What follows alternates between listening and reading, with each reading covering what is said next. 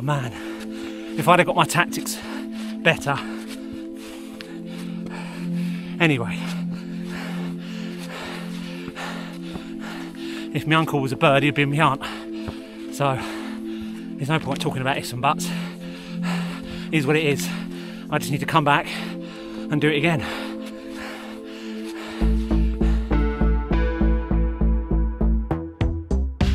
Fan dance. Let me introduce you to, if you don't already know, to what the fan dance is by reading the opening paragraph of a welcome email I received after I entered and paid my entry fee. To gauge the importance we assign to mountain safety, a degree of context is required. In the summer of 2013, three soldiers attempting the reserve format of SAS selection died in the Brecon Beacons near the summit of Pen y Fan, hence why it's called the fan dance, Pen y Fan. Two more candidates were hospitalised with serious heat related illnesses. January 2013, an army captain died of hypothermia on the summit of Pen y Fan. These men were all exceptionally fit, highly trained, and had already undergone at least six months of navigational and mountain fitness training in addition to their existing military backgrounds. I include this email as an example of the communications participants, me included, received prior to this exact same event that they're describing in this communication. Plus, I include it as a way of highlighting that this event, in their own words, is not a participation event. It is an authentic military timed race to the finish over a really, really tough course. The fan dance.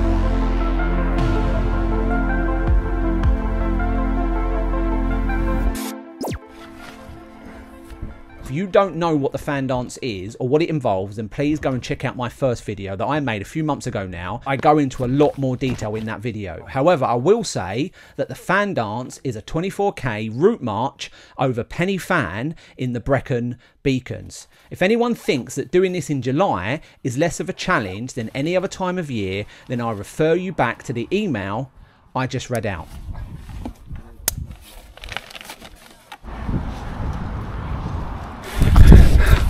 I'm recording.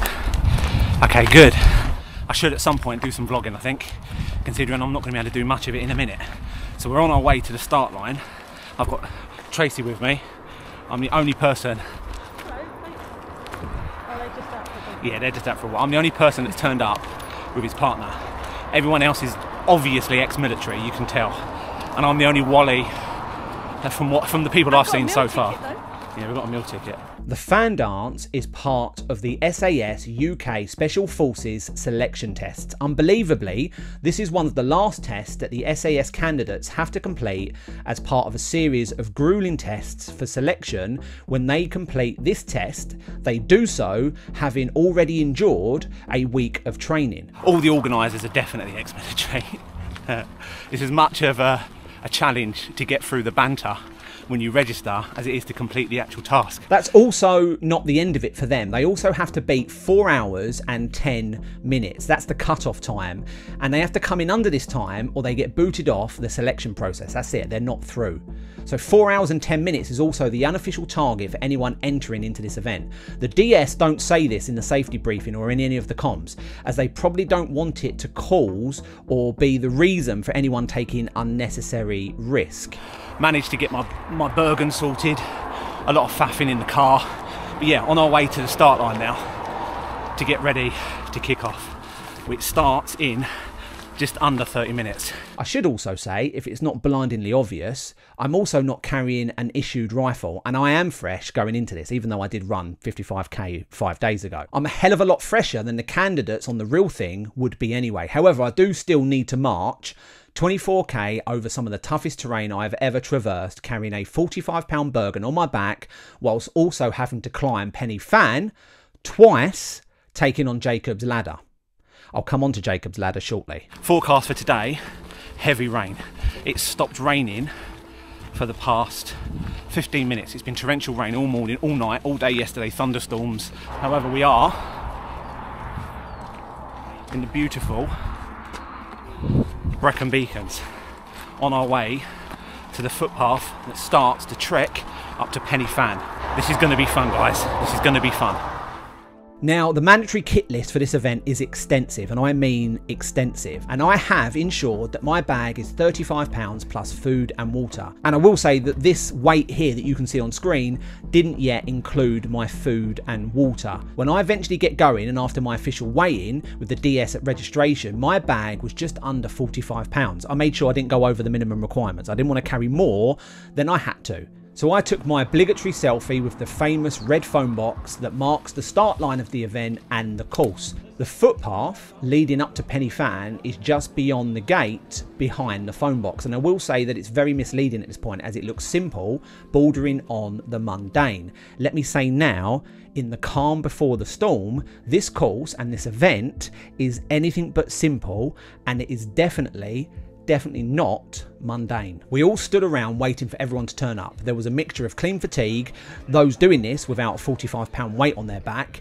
and those that were load bearing, me included. Good morning, everybody, and Good morning. welcome to the Fan Dance Challenge.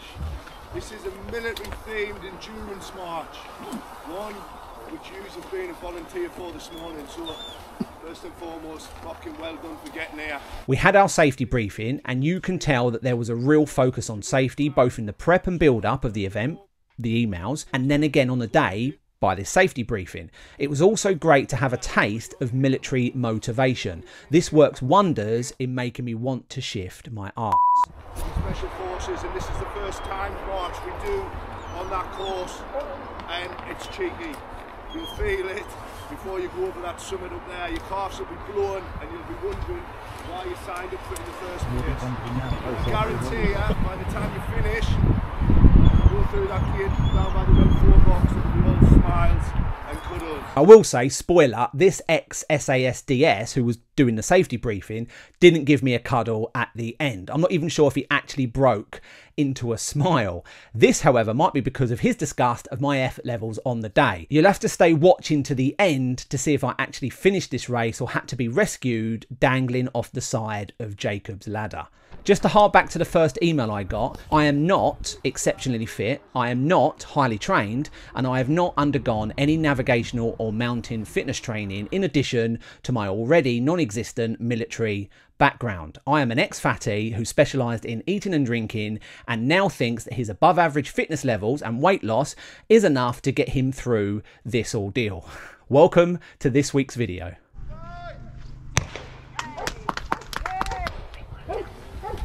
And we're off. It was a pretty muted start. Okay, we're off. Because there were so many of us, it was bottlenecked pretty much to the top of the first hill when it really kicked off. This section was like a lead out in a cycling race. Everyone just waiting to get going, but waiting for a space and the descent to do it. Okay, we started. This starts a bit naughty. This is steep. Now, what I do have to compensate for my lack of special service experience is an abundance of overconfidence and blissful ignorance, as well as my OCD prep and training. I took this event, I took this event very, very seriously.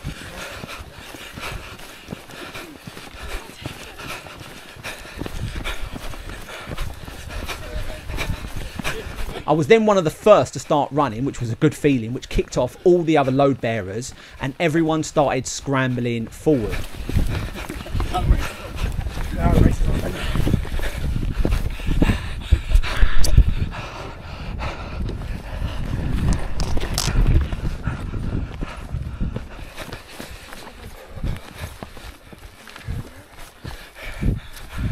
Opted to go on the grass.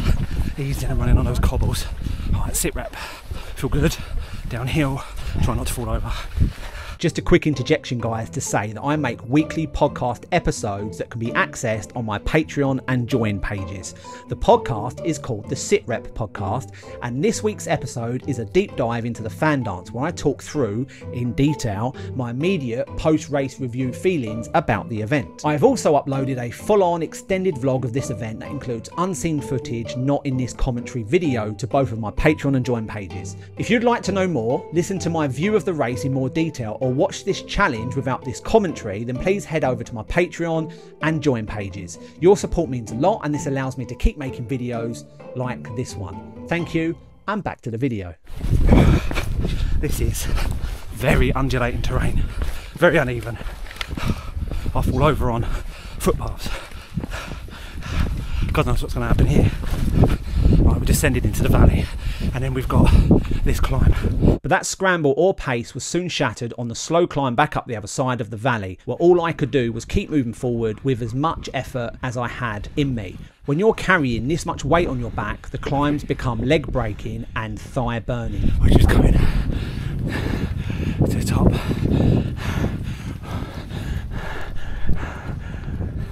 It's tough. This is hard.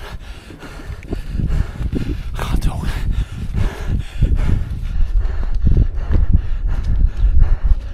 The terrain was making it almost impossible to have any kind of constant pace. One wrong placed foot or a slip with a 45 pound backpack, and you can jar a knee, twist an ankle, or even pull a muscle. Okay, nowhere near the top. Nowhere near. We're at 700 metres. Don't forget, after we've got over and then down the other side, we've then got to do it again. Turn around, come back. Killer. I will say now that I expected the weight I was carrying, the Bergen, the climbing, the distance, the total distance, to be the biggest challenge on this route, but it was the terrain. The terrain was by far the hardest thing on this route. Most of it loose rocks and small boulders. Mud would have been better than some of these footpaths. Okay, guys, I'm going to say it now. These boots are ripping my feet apart. I feel absolutely fine, other than my feet are in shreds. Now, it was at this point, because I had pushed the pace on the inclines, I was starting to worry as I could feel that my heels were being ripped apart by the boots I was wearing. I knew that if I didn't stop to treat the already forming blisters, then they would turn into wounds rather than just blisters. Right at the top. Top of Pen y Fan. I should have stopped now to treat them with some kind of protection, and I would have on any other event. But then again, on any other event, I wouldn't be wearing these industrial strength military boots. However, I didn't stop because I decided on a dose of suck it up cupcake, an attitude that has served me well in the past. You'll do it again next year forget about it. Morning. Morning. Shame there's no view. It has been. I know. So hopefully when you When come, they come back, I'll hold you to that.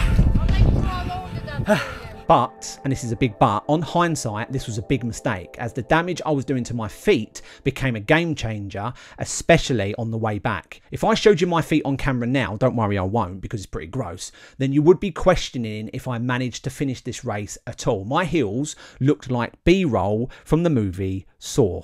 I can't do a lot of talking. This is the worst vlog ever. Right, we're at the top of Pen y Fan. Fitness wise, I feel absolutely fine. Legs are fine, back's fine. Bag, this bag, this bag's amazing. Amazing. I'm pretty sure the bag does most of the work. I shouldn't say that because I want to look. I want to look really hard and awesome. We've still got Jacob's ladder to come, um, which is coming up now. So we go down it, and then obviously we've got to come back up it. The only problem I'm facing is I've got blisters forming, bit bad ones as well. Some of the worst blisters I've had in a long time. All right, people have gone. and I'm touristing. This is why I'm losing time now. I can pick up the pace here. I've lost loads of time.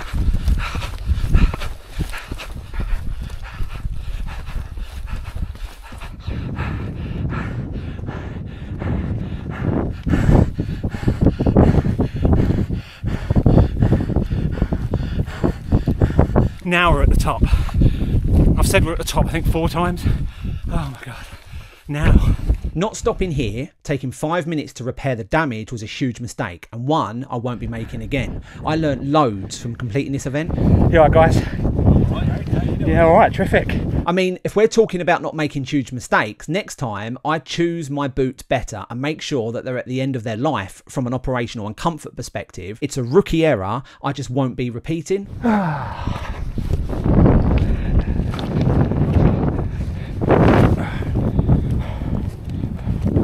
Jacob's Ladder was no joke. The terrain and sheer steepness is what makes Jacob's Ladder so tough, both going down and then, of course, coming back up.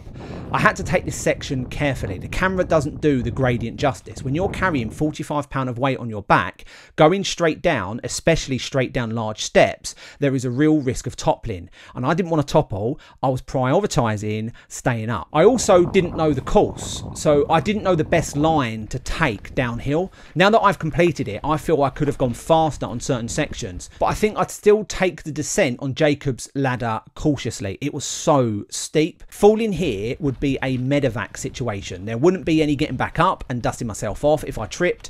And if you're a viewer of my channel, you will know that I do enjoy the occasional trip and roll. Shit. If I'm falling over with this on my back, I'm breaking arms or legs, especially on this descent. You've done this before, haven't you? No. Ah, I was going to say, because you know the better way to go. Oh no! It's you! Oh, You boy! I watched you pack your bag, that's how I'm going. nice to meet nice you. Nice to meet you. Let me give you a fist bump. Yeah, definitely. Nice to meet you. Good man. Oh, here we go. This is where it all goes wrong. It's properly uneven ground. Proper trip hazards. How anyone's getting any pace up. I mean, some people are. Some people have gone. What time they're making. Yeah. I'm going to be honest, I think, based on where I am in the pack, I'm pretty much mid pack at the moment, but people are starting to overtake me now. I thought the weighted, fully loaded Bergen or the distance or even the climbing would be the hardest part of this challenge. For me, the hardest part was the trip hazard terrain. The only way I could describe it, it's like an SAS version of Wipeout. Anyone from the UK will know this show. Everything on this course was trying to trip you up and make you fall over. based on that, I have no idea how far we've got to go to halfway. But based on that, I don't think I am uh, finishing anywhere near the four hours. It's like someone said, let's design a course where you have no chance of actually being able to run, and if you do try to run, you're at serious risk of injury. I can see, I can see why the SAS use this course as one of their test route marches. Unbelievably difficult. Nice bit. Nice bit. Where's that?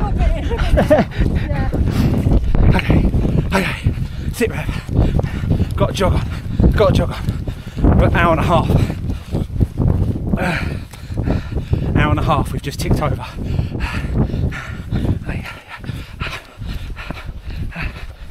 You alright, mate?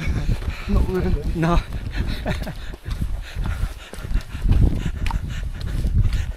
Not really. I love it. Unlike ultra events and marathons, when you do those events, everyone's so positive. Everyone's like, no, I'm gotta love, you gotta love the military, haven't you? Okay, right. Bad news is the uh, load bearing people that I was trying to keep up with, the gaps spread out, so they're up there.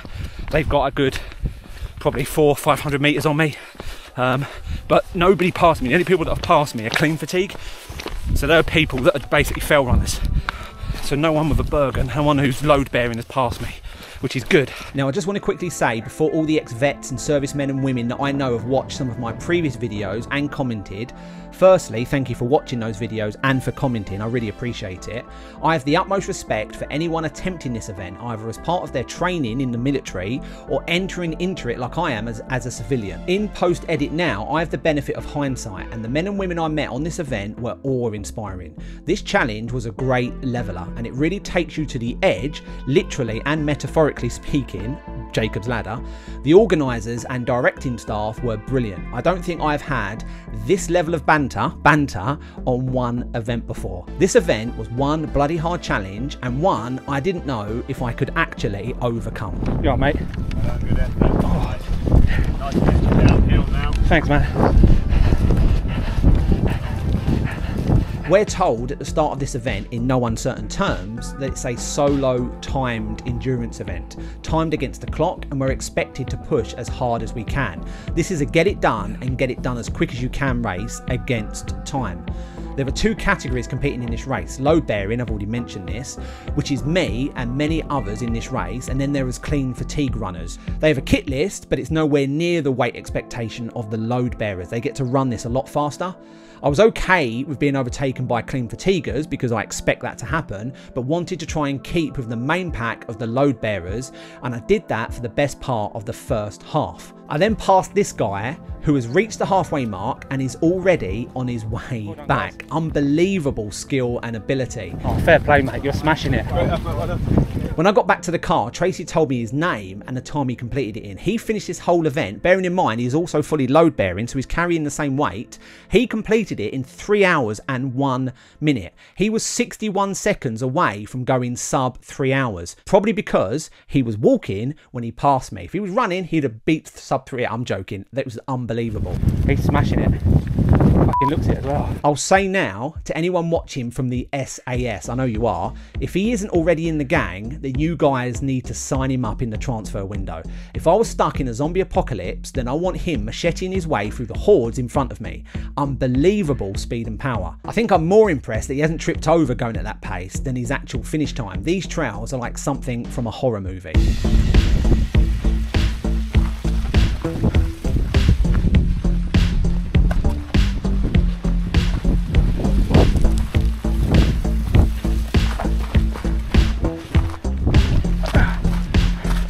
Done, mate.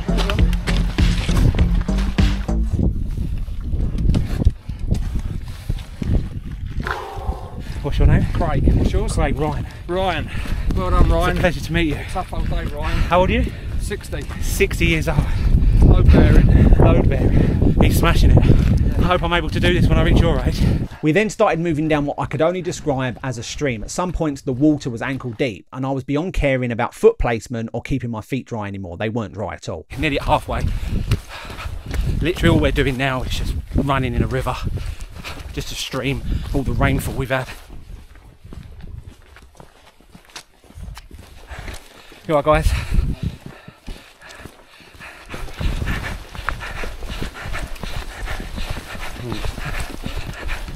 It's now at this point I was getting closer to the turnaround point and I was meeting fan dancers coming back the other way. The turnaround point marks the point where we need to register our existence with the DS and start the return march back to the finish line, back over Pen y Fan and back up Jacob's Ladder.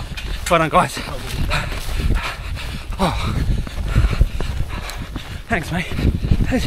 Cheers. I thought seeing those ahead of me passing me on the way back would be demoralising, but it wasn't. It was inspirational seeing men and women smashing it, and the camaraderie and positivity was amazing. Everyone I passed shouted words of encouragement, and I did the same. This is such a great event. You go, mate. Cheers mate. You're doing great, bud. You weren't wrong about that valley. Told you. Tell me you don't get the whole way round. Hey? Yeah, no, that the way around. Not the whole way. I've absolutely no idea who those guys are. I love it. The halfway point was a fence where we were literally told by the DS to touch it and Foxtrot Oscar away. Two, three, three. Down point, just touch the gate, then you're clear.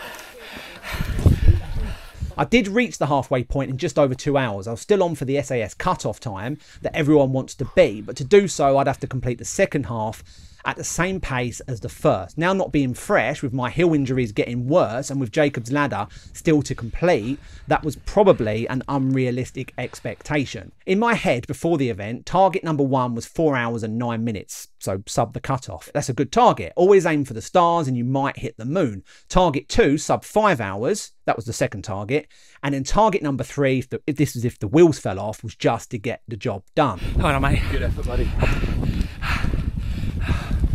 Okay, halfway.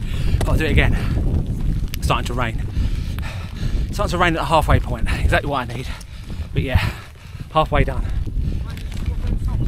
I will do.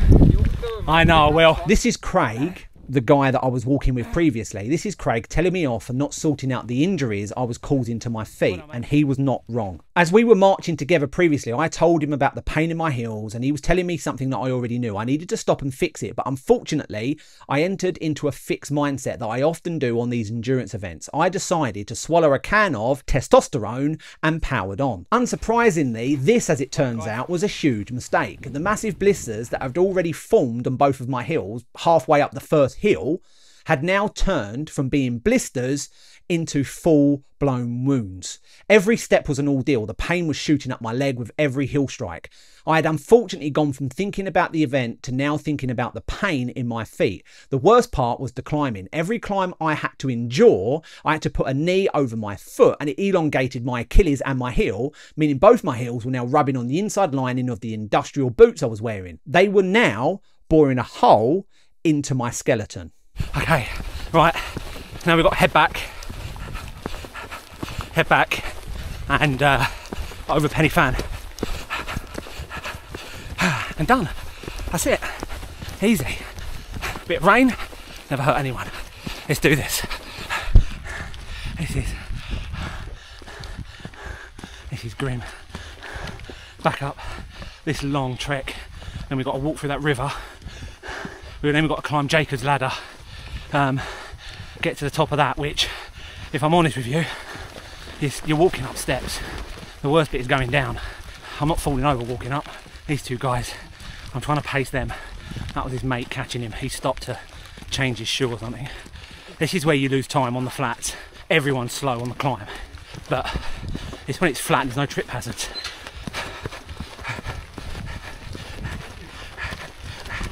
Oh, God, I've got it, mate. Gone. Cheers, mate. Yeah, throw it.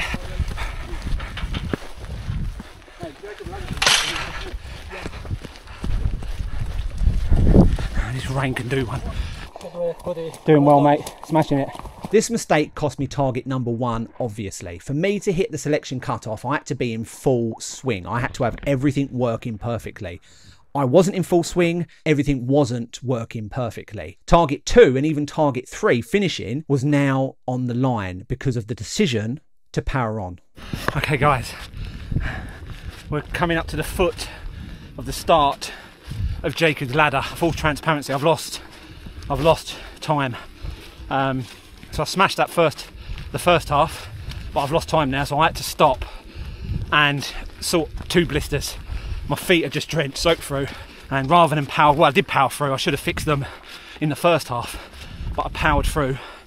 And then, uh, yeah, blisters got pretty bad. So I had to stop and do, treat them. I had to do something. Otherwise, I would have amputated my foot. I'd have been walking on stubs by the end of it. I then took a slice of humble pie and eventually conceded and stopped on the side of the path. Unfortunately for me, I could only patch my feet up. The rain meant that any form of proper dressing was impossible, so all I could do was treat them as best I could and hope for the best. The SAS, I'm going to say now, they're hardcore. Hardcore. And the fact that you have to wear these boots just to operate makes you hardcore. Now, I'm going to answer the question on my thumbnail now. How tough are the SAS? No need to wait till the end. The SAS are hardcore. The fact that they do this under severe time constraint, carrying their rifle, and after a week of full on beasting, makes them hardcore. They're pretty damn tough. Anyone that does this course, or anyone that has done this course, are also pretty tough. Got to climb up that now. Start the pain now. Yeah. I'll have that rush of adrenaline, knowing that the worst part of the whole event is climbing Jacob's ladder. It's not steep. Uh, no, it is steep. Let me you that back. It's not high. It doesn't feel high. I don't get vertigo on it. You can see why it's called Jacob's ladder. The footpath's like a ladder. Come on, we got the fun now. Oh, yeah, yeah, I'm trying to take my mind off looking at that. That I've got to climb this. I've said this already, this camera, especially in wide view, just doesn't do justice to the gradient on this part of the course. The floor is loose shell, easy to slip on, plus the paving or the slate that is used to build this ladder type path this section is jagged. As I mentioned, if I tripped here, I wasn't just going down, I was going down hard and probably staying down. So I was treating this part of the course with the respect it deserved. On hindsight, I wished I trained more on uneven terrain. I completed the Yorkshire Three Peaks several weeks ago with the backpack, which did wonders for my endurance and helped with navigating the inclines and descents. But the terrain here is very loose and there are sections where it's like playing hopscotch, jumping from one boulder to the next, hoping you don't miss and turn an ankle. I say turn an ankle, probably break an ankle. Training on terrain like this for a good time is a must and something I wish I did more of. What have you? Nearly there, buddy. It's downhill. Not far now.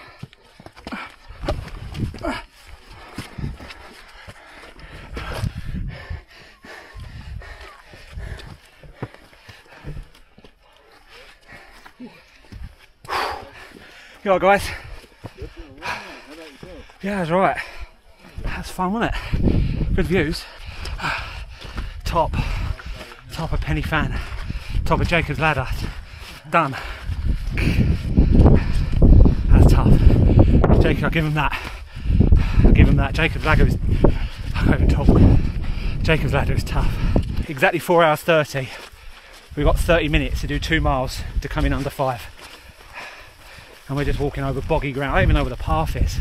Just bog. I had 30 minutes to jog three miles. I thought it was two because the fella that climbed Jacob's ladder with me said it was two, but my watch said it was three. So, in any case, I had 30 minutes to finish this course in a time that I'd be happy with. I'd love to do sub five, but I don't think I can. My feet are fucked. My feet are in a bad way. And everything I'm doing now is jeopardising Race to the Stones in a week. Because my feet, my feet are fucked. My feet are broken. I keep swearing. I'm swearing so much. It's the only word I can use that best describes how I feel. To use a World War II term, my feet were now foobarred. The pain was outrageous, but I desperately wanted to get that sub five hours, so I kept running or shuffling.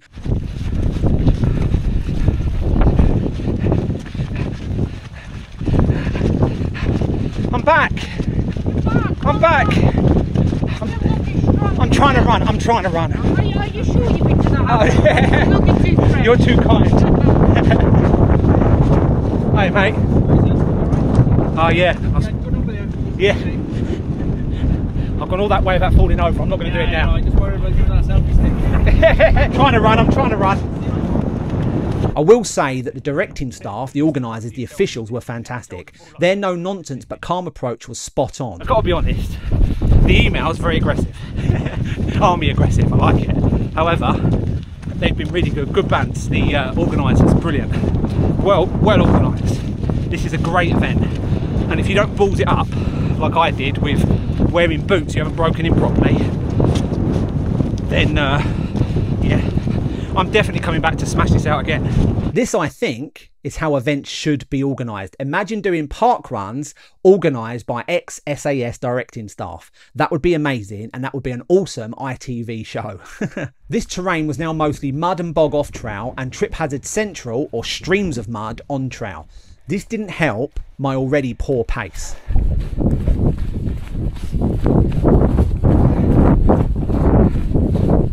I will say at this point, for anyone thinking this looks easy, I know my enthusiastic vlogging and effortless marching makes it look like a scene from Wish You Were Here. But as Tracy stood on the finish line waiting for me, she got chatting with the Geordie ex SAS DS, and he told her that during this event, the day before, I've already mentioned this, five load bearers were hospitalised because of hypothermia. This is a tough event, guys. This is really, really, really hard. Only in Wales would it pour down and be sunny at the same time. So it's just teasing me. I'm drenched anyway. No point moaning. Last climb. I also know that several on today's event that started had to withdraw during the march. I just need to get over this. And then it's the phone box and the finish line. How tough are the SAS? I'm going to say now they're pretty tough. I'm going to give them that big tick. You get my seal of approval, guys. Um, this is a tough gig. Sub four hours. This, Jesus. If you can do this sub four out of you are something special. If I'd have got my tactics better. Anyway, if my uncle was a bird, he'd be my aunt. So there's no point talking about ifs and buts. It is what it is. I just need to come back and do it again. I'm already haven't finished and I'm already talking about doing it again. This was pretty tough, guys. This is pretty tough. I take my hats off to the SAS. I take my hats off to anyone that's done this course. These guys are monsters. This event is not for the faint hearted and one really hard challenge that I needed to overcome. It nearly broke me doing it as well. I 100% want and need to return to this event at some point. Okay. Alright, I can see the finish line. I can see the phone box. Ah, and I've lost a toenail. I just felt my toenail ping. But the finish line, I can see the finish line, guys. Forget about that. Let's look at the finish line. If I can lean down some more, lose a bit more weight, become a bit stronger, hit the gym, train with the Bergen on uneven terrain, and obviously buy a much better, more flexible pair of boots because they're too rigid, then I've definitely got a better time in me. Whether that time is sub 4 hours and 10 minutes, I'm not sure, but I definitely think I've got a sub 5 hour in me. So, with Tracy clapping me over the line, she is always by my side, clapping me over any finish line that I attempt, and with a group of very impressed DSing staff, Ah, What's your number, mate? thank you. Two, Uh, two, three. 223, yeah. Ryan. Yes. I think it is. Was it good? Yeah. That was no no nonsense, that route, isn't it? I crossed the finish line in, and I had to check the official email for this. I crossed the finish line in a rather lukewarm 5 hours and 21 minutes. Unfortunately, guys, I'm sorry to say that I did not make it into the SAS. I'm sorry to have let you all down. As I finished the race, crossed through the gate beside the red telephone box and asked the ex Special Forces DS member if he had run it as well, Did you run it? Were you the guy? No, I didn't run it. It was because for some strange reason I thought he had and wanted to say to him, well done, even though he was fully dressed. I just assumed he'd just done it really easily. Are you going to smile then? Yeah. Thank you. Thank you very much. Cheers, guys. Really good event. Really good. I received my finishers patch, took my photo for Instagram, link in the description if you want to follow me on Instagram, and I then waddled my way back to the car. No doubt with the awe of all the ex-SAS and Special Forces contingent that were patiently waiting for the rest of the field to finish. Now, I will say, joking aside, that anyone that did pull out or was withdrawn from this event didn't appear on the final results. And according to those final results, 142 men and women finished this event on the day I did it. 69 of them were clean fatigue and 73 of them were load bearers. I finished the fan dance 48th out of 73 load bearers. Am I happy with this? That's the question I'm asking myself now. Am I happy? Not really, if I'm honest. Obviously, I'm happy to have finished based on how bad my feet were feeling. It was an ordeal. And 2018 Ryan had no chance of finishing this event, let alone finishing mid pack ish. However, I know there were sections I should have powered through faster on. The boots destroyed my feet, meaning that my pace and ability to bend my feet into certain positions that allowed me to climb more effectively was significantly compromised. All this means I definitely had a much better time in me. I am justifying my lukewarm result. Say again.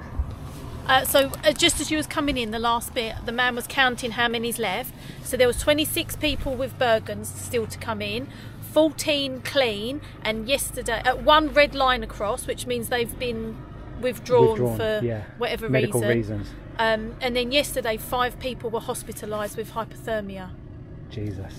Uh, but the fastest yesterday was three hours 20. Today was three hours. Yeah, uh, Almost we saw him. Yeah, we saw him. Beast. Absolute Yeah. beast. As I record this, it's only four days after completing this event, and I feel absolutely fine. As you can tell, I'm sat in my chair rather than stood up as I normally am in my videos because I'm absolutely fine. The DS would say that this is another indicative sign that I didn't push myself as hard as I could, as hard as I could have on the day.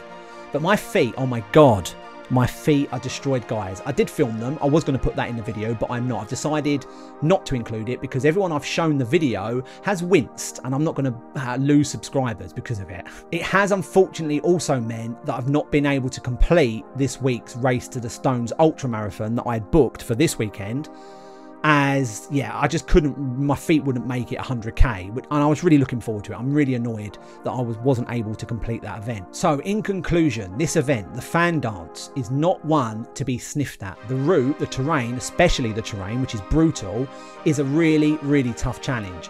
And I'm very pleased to have been part of it and to have completed it. Will I return next year? Maybe. I don't know. It's a year off. I haven't really thought about it. I'm still processing the one I've just done.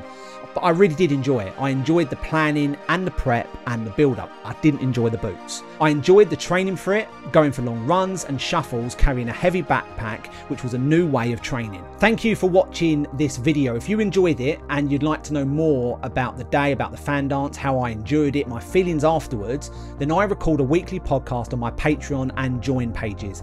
Links for these are in the description. Head over there to support me and have a listen. Episode 4 How Tough Are the SAS? is the episode in question. Spoiler, they're pretty, pretty damn tough. Thank you for watching. See you in the next one.